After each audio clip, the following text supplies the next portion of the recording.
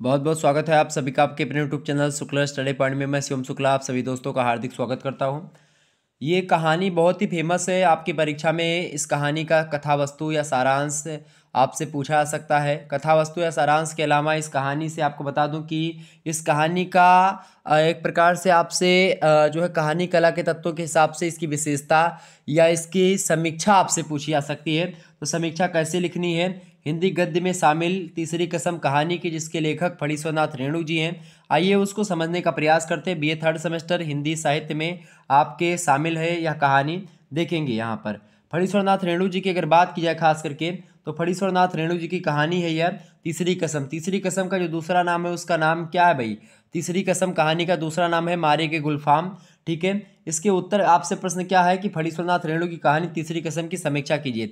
समीक्षा जो होती है, वो कई प्रकार के तत्वों के, यानी कि लगभग छह तत्व होते हैं, कहानी कला के आपको पता होगा। एक होता है कथानक या कथा वस्तु एक होती है पात्र एवं चरित्र चित्रण ये एक होता है आपका संवाद, योजना या कथोपकथन, एक होता है देश, काल और वातावरण, एक होता है भाषा शैली, एक होता है उद्देश्य और शीर्षक। तो ये छह तत्व जो होते हैं, इनके आधार पर हम किसी कहानी की किसी उपन्यास की क्या करते हैं, समीक्षा करते हैं। और इसी आधार पर हम फणीश्वरनाथ रेणु द्वारा रचित जो तीसरी कसम कहानी है, जो कि एक प्रकार से आंचलिक कहानी है खास करके, और फणीश्वरनाथ रेणु जी जो हैं, ये आंचलिक कहानीकार भी माने जाते हैं, और आंचलिक उपन्यासकार भी ये रहे हैं। तो फणीश्वरनाथ रेणु जी की जो कहानी ये है, खास करके इसके मुख्य पात्रों में आप देखते हैं, हीरा मन और हीरा बाई आते हैं। हीरा मन और हीरा बाई की अगर बात की जाए, हीरा मन, ठीक है? हीरामन जो है, ये बैलगाड़ी चलाने वाला एक युवक है। काला एकदम से है, कुरूप है, दिखने में अच्छा नहीं दिखता है। ठीक है, शादी हो चुकी थी, लेकिन उसकी बीवी मर जाती है पहले से ही। ठीक है गौना नहीं आया होता उसके पहले तो यही सी। और जो आपकी जो हीराबाई है, हीराबाई की बात की है तो नौटंकी में नाचने वाली क्या है? नौटंकी में नाचने वाली एक महिला है जो कि बहुत खूबसूरत है, बहुत सुंदर है। और एक समय आता है कि ये हीरा बाई जो है, वो हीरामन की गाड़ी में बैठती है और एक प्रकार से वो उसको लेकर के वहाँ तक जाता तो एक प्रकार से रास्ते रास्ते में प्रेम हो जाता है। मतलब इसको और फिर ये तीसरी कसम खाता है लास्ट में। पहली कसम खाता है वो जो है और एक प्रकार से वो कई ती, तीन प्रकार की कस्में तीनों कस्मों के बारे में मैंने आपको ऑलरेडी बताया हुआ है। तो तीन प्रकार की कस्में जो होती हैं खाई जाती हैं। तो खास करके आपको पता होगा तीन प्रकार की जो कस्में हैं वो एक पहली बार जब रास्ते में खास करके तीसरी कसम जो है वो हीराबाई और हीरामन जब जा रहे होते हैं तो चूँकि उनके बीच में कोमल संबंध हो जाता है, प्रेम हो जाने लगने लगता है, फिर नौटंकी की नायिका जो हीराबाई है, वो एक पैसे वाले ने एक प्रकार से उसको ख़रीद लिया और हीराबाई ने उसके प्यार को एक प्रकार से और जज्बात को हीरा मन के ठोकर मार करके निकल जाती है मतलब चली जाती है। ठोकर मार करके नहीं जाती है, लेकिन वो चली जाती है तो इसको लगता है कि भाई, अब मैं जो है किसी स्त्री को या नौटंकी वाले को कभी अपनी गाड़ी में नहीं बैठाऊँगा। ये तीसरी कसम उसकी है। पहली कसम ये कहता है कि अब चोर बाजारी, पहली कसम क्या है हीरामन का? हीरामन की पहली कसम ये थी भाई, पहली कसम खाता है कि अब चोर बाजारी का माल जो है कभी नहीं ला देंगे अपनी गाड़ी पर। दूसरा कहता है मैं बाँस नहीं ला दूँगा अपनी गाड़ी पर। दूसरी कसम खाता है, चूँकि एक बार बाँस लादा हुआ था वो, और बाँस जो है, वो एक प्रकार से, एक प्रकार से फंस गई थी किसी के, जो है, घोड़ा गाड़ी में। तो एक प्रकार से उससे क्या होती उसकी छतरी फट गई थी तो इसके कारण से हीरामन दूसरी कसम खाता है। तीसरी कसम हीरा, हीरामन तब खाता है, जब हीरा बाई को अपने उसमें बैठा था। तो एक प्रकार से यही सारी चीज़ें चलती रहती इसमें। तो यही आपका कहानी का एक प्रकार से पूरा यही उसकी यात्रा का और वो एक प्रकार से नौटंकी करने की पूरी क्रियाविधि आपको दिखाई जाती है। समझने का प्रयास करते हैं। तो हिंदी के प्रसिद्ध कहानी, लेखक फणीश्वरनाथ रेणु की आंचलिक कहानी, तीसरी कसम उनकी प्रसिद्ध और प्रमुख कहानी है। इस कहानी पर फ़िल्म भी बन चुकी है। कहानी के तत्वों के आधार पर अथवा कहानी कला के आधार पर किसी कहानी की आलोचना निम्नलिखित बिंदुओं बिंदुओं के माध्यम से की जा सकती है। आलोचना, समीक्षा कुछ भी आपसे पूछे, आसानी से आप बता पाएँगे। तो कहानी कला के जो छः तत्व हैं, उन्हीं के आधार पर हम थोड़ा सा समझने का प्रयास करेंगे, जानने का प्रयास करेंगे। देखें, कहानी कला के तत्वों के हिसाब से अच्छे बिंदुओं के आधार पर तीसरी किस्म कहानी की आलोचना, समीक्षा आपके समक्ष में प्रस्तुत करने जा रहा हूँ। आप लोग बड़े ध्यान से इसको देखने का प्रयास करेंगे। देखिए, इससे पहले आपको बता दूँ कि मैंने ध्रुव स्वामी नाटक के बारे में आपको समझा दिया है, पूरा विस्तार से बता दिया है, पूरा कथानक वगैरह समझा दिया है, हर एक चीज़ के बारे में पूरे चीज़ें बता दी है तो आप उसको देख लीजिएगा। अगर आपसे कोई प्रश्न नहीं पूछा जाएगा तो आप आसानी से कर पाएँगे। अगर आप इस वीडियो को अंत तक देखेंगे या आपने जो वीडियो मैंने पहले डाली है उसको देखा होगा। कथानक और कथा वस्तु की बात की जाए तो तीसरी कसम कहानी की अगर बात की तो कथानक विशेष बड़ा नहीं है इस कहानी का। इस कहानी का प्रमुख पात्र जो है, नायक अथवा आधार जो है, वो हीरामन है। हीरामन जो है, बैलगाड़ी वाला है, भोला भाला है, बिहारी का मतलब बिहारी युवक है बिहार का लड़का है, ठीक है? और पहले वह नेपाल से तस्करी का सामान ढोकर के भारत में लाया करता था। क्या हुआ कि एक बार एक सेठ के कपड़े की गांठें पकड़ी गई और उस, उसने रात के अंधेरे में अपने बैलों के साथ भाग करके जान बचाई, क्योंकि जो बंगाल मतलब कि नेपाल से तस्करी का माल होता था, एक प्रकार से वो चोरी का माल एक प्रकार से होता था तो चोरी का माल ये बेच रहा था। अब जब चोरी का माल बेच रहा था तो क्या हुआ भाई? चोरी के माल बेचते समय क्या होता है कि भाई, वो लोग जो है, पुलिस का डर बना रहता है और लगातार तो किसी तरीके से अपनी जान बचा करके उस समय भाग लेता है, ठीक है? और चोरी का माल जब बेच रहा होता तो पहली कसम उसी समय खा लेता है कि भाई, अब दोबारा चोरी का माल तस्करी कभी नहीं करेंगे। ठीक है तो इसने पहली कसम तब खाई थी कि वह कभी तस्करी का माल नहीं ढोएगा। इसके बाद में क्या होता है, वह सकीन के जानवरों को ढोने लगता है और हीरामन ने दूसरी कसम अपनी गाड़ी में बाँस न ढोने की खाई थी। एक दिन वह क्या कर रहा था कि अपनी गाड़ी में बाँस लाद करके ले जा रहा था।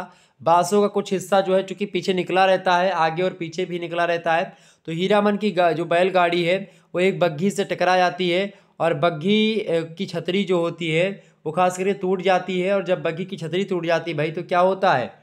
बग्घी की छतरी जब टूट जाती है तो इससे क्या होता है भाई? बग्घी की छतरी जो है, जब टूट जाती है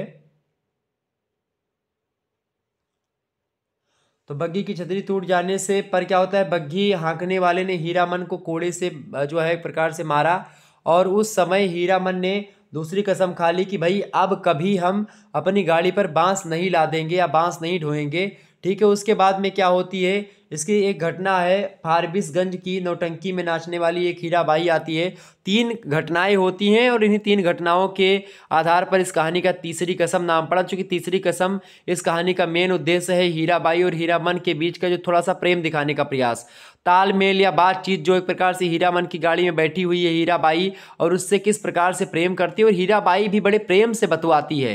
प्रेम से बात करती है हीरामन से। हीरामन काला है, क्रूप है, एकदम से चालीस वर्षीय कट्टा है मतलब कि एकदम से युवा है, बिहार का युवक है, गवई है, एकदम से देहाती युवक है जो है महुआ घटियारिन का गीत भी गाने वाला है। तो सब कुछ सुनने का प्रयास करती है, और हीरा मन के साथ बातचीत भी करती है खुल करके, उसमें कोई दो राय नहीं है।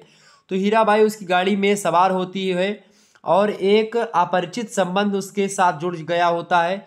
इस बार उसने तीसरी कसम खाई कि भाई भाड़े, भाड़ा चाहे जितना भी मिले, ऐसी लदनी फिर कभी नहीं ला दूँगा। यह कहानी गाड़ीवान हीरामन हीरामन और नर्तकी जो है हीराबाई के सरल, स्निग्ध और सहज संबंधों की जो है, एक प्रकार से झाग दिखाई पड़ती है इसमें।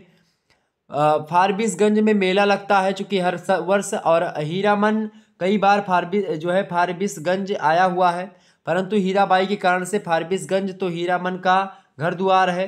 राह चलते हुए हीरामन ने किसी दूसरे गाड़ी वाहन को गलत बता दिया कि वह छतरापुर पचीरा जा रहा है और दूसरी बार दूसरे गाड़ी वालों से कह दिया कि वह कुड़मा गाँव जा रहा है। हीराबाई हैरान हो करके उठ जाती मतलब कि उठ मतलब कि वो कह उठती है, ये बात कहती है कि छतरपुर, पचीरा कहाँ है? जिस पर हँसते हँसते हीरामन के पेट में एक प्रकार से बल पड़ गए, यानी बहुत हंसा वो। हीरामन के जो है तक्षिया के पास पहुँचने पर पर्दे वाली गाड़ी को देख करके बच्चे तालियाँ बजा करके गा उठे। लाली लाली डोलिया में लाली रे दुल्हनिया ये गाना भी बीच बीच में एक प्रकार से गाना भी जो है आते का जो एक प्रकार से गाँव, गवई गाना होता है, वह भी आने का मतलब कि आता है और इसको लाने का प्रयास कथानक में होता है, जिसके कारण से कथानक में और ज़्यादा एक प्रकार से बंधने का प्रयास होता है। कुल मिलाकर के ज़्यादा एक प्रकार से लंबी कहानी नहीं है, ज़्यादा लंबा कथानक भी नहीं है, बस कथानक ये है कि तालमेल अच्छे तरीके से बैठा रहता कथानक में, ठीक है। बीच में थोड़ा सा हिचाव भी लेती कहानी, लेकिन फिर भी वो जो है योग्य है। हीरामन भी सपनों में दुल्हन को लेकर के लौटा है। हीरामन सोच रहा है कि भाई, एकदम से हूर बैठा लिया है। भाई भाई, सुंदर है हीरा बाई और ये हीरामन बहुत काला कलौटा, लेकिन फिर भी वो उससे बात करती है खूब अच्छे तरीके से। कोई घमंड, कोई गुरु रूप का अभिमान नहीं करती है। ठीक है, कई बार, और इस बार तगछिया गाँव की ही नहीं, किसी दूसरे गाँव की स्मृति भी उसके नस नस में समा रही है। कजरी नदी के साथ साथ उसकी सड़क जा रही है। परमान नदी का तो महुआ घटियारिन की लोक कथा से संबंधी है। हीराबाई कथा सुनने की रुचि को पूरा करने के लिए हीरामन को लीक छोड़ करके ननकपुर के रास्ते पर जाना पड़ता है। लीक माने होता है सड़क को छोड़ करके, पक्की सड़क जो है, उस सड़क को छोड़ करके जो है मतलब कि दूसरे रास्ते से आता है, ननकपुर के रास्ते से आता है। और कहानी के अंत में हीराबाई जब हीरामन से विदा लेती है, तब हीरामन को बहुत दुख होता है, क्योंकि वह उससे अत्यधिक प्रेम करने लगता है। और श्री फणीश्वरनाथ रेणु जी ने तीसरी कसम उर्फ़ मारे के गुलफाम कहानी जो है, इसका गठन सुव्यवस्थित रूप से उन्होंने करने का प्रयास किया है और किया भी है, इसमें कोई दो राय नहीं है। और जिसमें कहानी सशक्त है, सुग्राह्य है, प्रभावशाली है, रोचक बन पड़ी है। लेखक ने कहानी में ऐसे विषय का चयन किया जो सहज ही पाठक को बांधने में समर्थ है और इस प्रकार से कहानी का जो ये आपका तत्व है, ये भी बड़ा एक प्रकार से अच्छा दिखाई पड़ता है, ये बात आप ध्यान रखेंगे, ठीक है? समझिएगा। अगला तो ये आपका कथानक है। कथानक में ज़्यादा कुछ है नहीं, ठीक है? मतलब कथानक में आपका यही ज़्यादा लंबी कहानी है नहीं, चूँकि कथानक में आपको कुछ है नहीं। पूरी कहानी जब आप पढ़ेंगे तो वही थोड़ा सा खिंचाव है बातचीत होती है तीसरी कसम मारी गई गुल्फाम में। कहानी से कई सारे उदाहरण है, वो मतलब कि तमाम प्रकार की चीज़ें होती हैं, अभी समझने का प्रयास हम करते हैं। दूसरी बात, पात्र योजना देखेंगे क्या क्या पात्र कौन कौन है, चरित्र चित्रण क्या है? या कहना या समझना नितांत एकांगी बात होगी। एवं अनुचित है कि आंचलिक कथा सार जो होता है, सदा कहा, ग्रामीण कथा अथवा चरित्रों के प्रति पक्षपाती होता है, उसका मस्तिष्क ग्राम के पूर्वाग्रह से भरा हुआ रहता है। श्री फणीश्वरनाथ रेणु के चरित्रों के सामान्य पर्यवेक्षण से हम इस परिणाम पर पहुँचते हैं कि उनके चरित्र जीवन की विविधता को उपस्थित करते हैं। आंचलिक कहानी माने होता है कि गाँव के परिप्रेक्ष्य में लिखी गई कहानी, गाँव से ही रिलेटेड कहानी। और जब आंचलिक कहानीकार कोई कहानी लिखता है तो उसमें क्या होता है, वो गाँव की चीज़ों को बढ़ा चढ़ा करके बताने का प्रयास करता है। लेकिन फणीश्वरनाथ रेणु जी एक प्रकार से जो वास्तविक चीज़ें हैं, उस धरातल पर कहानी लिखने का प्रयास करते हैं। उनकी आलोच कहानी तीसरी कसम उर्फ़ मारे गुलफाम में चरित्र चित्रण प्रमुख हो उठा है। परंतु यह प्रमुखता अपना सर्वस्व शेष तत्वों के ग्रहण से मतलब कि तत्वों से ग्रहण करती है। चरित्र अपना पोषण और पुष्टि इन तत्वों से प्राप्त करते हैं, इसीलिए सारी कहानी संपूर्ण हो जाती है। सारी कहानी का प्रभाव एक सा हो जाता है। इसके अलावा इस प्रभाव वेग की को प्रस्तुत करने का श्रेय चरित्र को ही जाता है। क्योंकि चरित्र में एक प्रकार से इतना तालमेल आपको इसमें दिखाई पड़ेगा इस कहानी में कि कोई दो नहीं और मुख्य रूप से जो भी पात्र या फिर दो, जो भी चरित्र और आए हैं हीराबाई और हीरामन के अलावा, वो केवल पूरक पात्रों के रूप में आते हैं, कोई और मुख्य पात्र के रूप में भी नहीं आते हैं, ठीक है? चूँकि इन्हीं पर कहानी पूरा हीरामन और हीराबाई पर टिकी हुई है। तीसरी कसम और मारे गुलफाम कहानी में हीरामन और हीराबाई प्रमुख पात्र हैं। इनके अतिरिक्त धुन्नी राम पात्र है पलटू राम भी है, लाल मोहर है, प्रभूति गाड़ीमान है और हीरामन की भाभी और उसका भाई भी दिखाई पड़ता है इसका चरित्र है शुरुआत में, बाकी कुछ है नहीं, इनकी कोई भूमिका है नहीं, ठीक है। भाभी को डरता बहुत है हीरामन ये बात भी ध्यान कि कहानी में जब आप पढ़ेंगे तो पता चलेगा। फणीश्वरनाथ रेणु जी ने हीरामन और हीराबाई का चरित्र चित्रण अत्यंत सहजता और स्वाभाविकता से किया है, जो सहज ही पाठक को बांधने में समर्थ है। वस्तुतः तीसरी कसम उर्फ़ मारे गए गुलफाम कहानी के दो पात्र किंचित मात्र भी आरोपित प्रतीत नहीं होते हैं। और यही बात कहानी के अन्य पात्रों के विषय में भी कही जा सकती है। तो कुल मिलाकर के कहानी के अगर पात्र के हिसाब से देखा जाए, पात्र परिचय के हिसाब से, ठीक है चरित्र चित्रण के हिसाब से तो कहानी उसमें भी खरी उतरती है, कथोपकथन में तो खरी ही उतरती है। ठीक है, कोई निरस्ता नहीं है, कोई जटिलता नहीं कहानी में, सरल शब्दों का प्रयोग है और एक प्रकार से आंचलिकता का जो है झलक दिखाई पड़ती है आपको। तो कोई कहानी में ज़्यादा जो है टीम झीम का प्रयोग आप नहीं देख सकते, एकदम से कहानी कला के तत्वों के हिसाब से एकदम खरी उतरती है कहानी। आगे समझते हैं। संवाद योजना। क्योंकि संवाद योजना भी कहानी का एक प्रमुख तत्व होता है, महत्वपूर्ण तत्व होता है तो इसको समझना परम आवश्यक है। तो श्री फणीश्वरनाथ रेणु बहुचर्चित और सुप्रसिद्ध आंचलिक कथाकार हैं।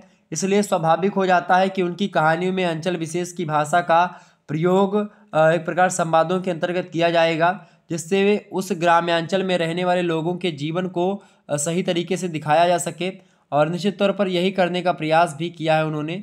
ठीक है? देखेंगे यहाँ पर। तो ये आप कहानी जब पढ़ेंगे तो उसमें तीसरी कसम उर्फ़ हमारे के गुलफाम जो कहानी है, उससे एक उदाहरण मैं आपको दिखाने का प्रयास करता हूँ। देखें यहाँ पर। क्यों मीता? तुम्हारी अपनी बोली में कोई गीत नहीं है क्या? ये मीता जो है किसको कहती है? हीरा बाई जो है हीरामन को मीता कह के बुलाती है। ये क्यों मीता? तुम्हारी अपनी बोली में कोई गीत नहीं है क्या? प्रश्न करती है कि अपनी बोली में कोई गीत बताओ। अब ये यहाँ पर कौन कह रहा है इसको? ये लेखक एक प्रकार से लेखक की एक पटुता है यह। लेखक अपनी जो है, वाक पटुता का प्रयोग करता है, अपनी रचनात्मकता का प्रयोग करता है, अपनी कौशल का प्रयोग करता है, अपनी भाषा का एक प्रकार से प्रयोग करता है कि भाई भाषा को किस प्रकार से वो जो है, शुद्ध हिंदी में भी लिखने का प्रयास करता है, खड़ी बोली में भी और इधर वह गवई भाषा का भी प्रयोग करता है, बिहारी का प्रयोग भी करने लगता है। गाँव की बोली आप समझिएगा, ये प्रश्न करता है हीरामन, हीराबाई से, ठीक है? तो वो कहती हूँ, ऊँ ठीक है, क्या बोलती? हूँ इस प्रकार से। गीत ज़रूर सुनिएगा, नहीं मानिएगा इस।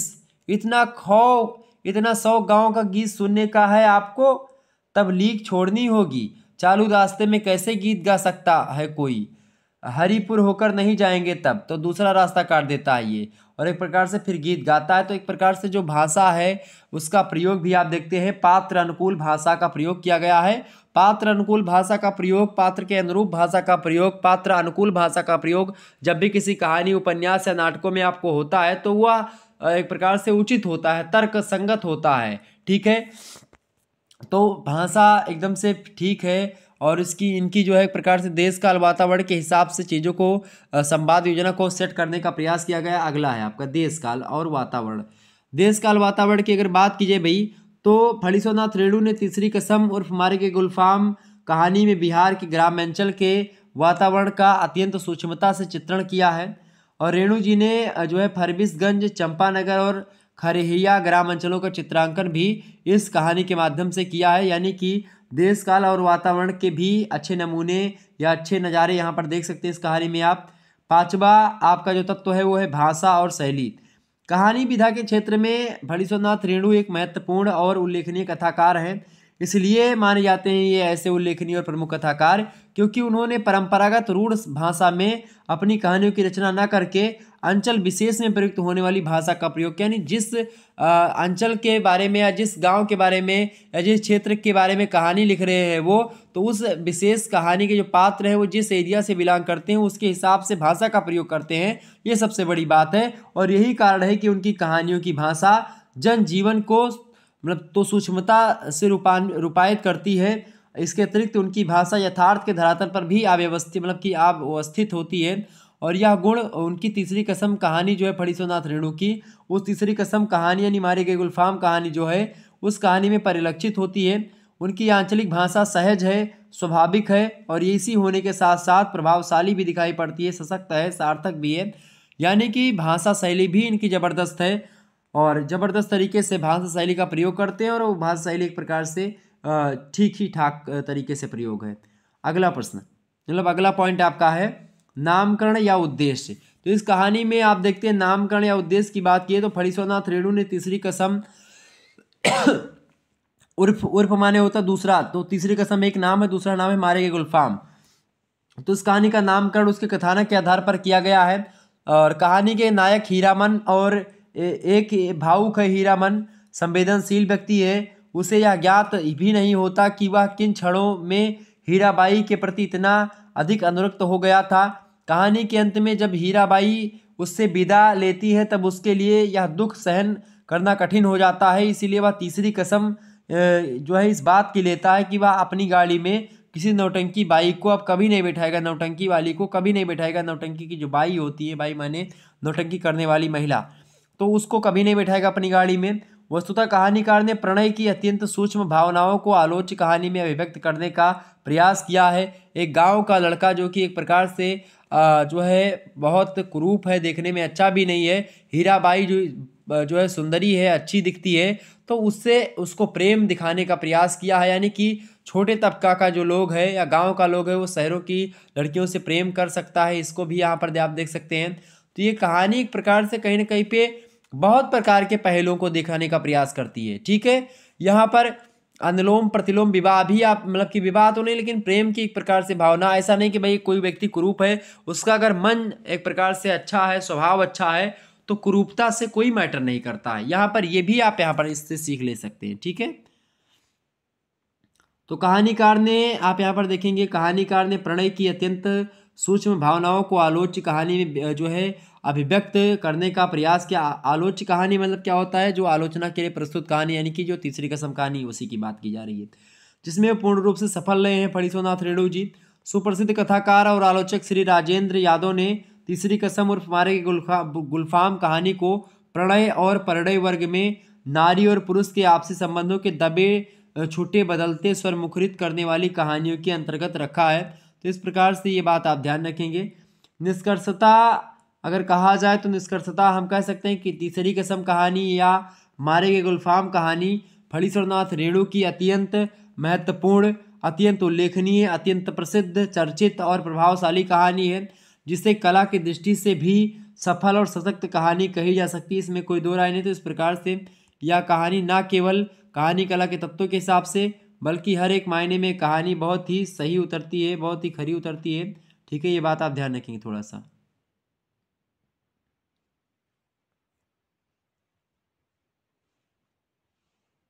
क्लियर?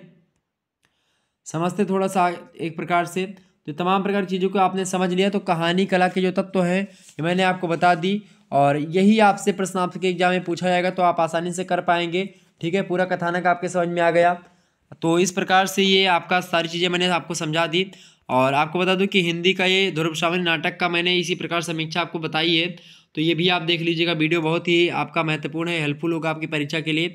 यह भी वीडियो देख लीजिएगा और तमाम प्रकार की वीडियो प्लेलिस्ट में आपको मिल जाएगी, आसानी से आप पढ़िए, ठीक है, कोई दिक्कत की बात नहीं है। चलिए फिर मिलते हैं हम नेक्स्ट वीडियो में, तब तक के लिए जय हिंद, जय भारत। आप सभी का बहुत बहुत धन्यवाद हमारे साथ जुड़ने के लिए।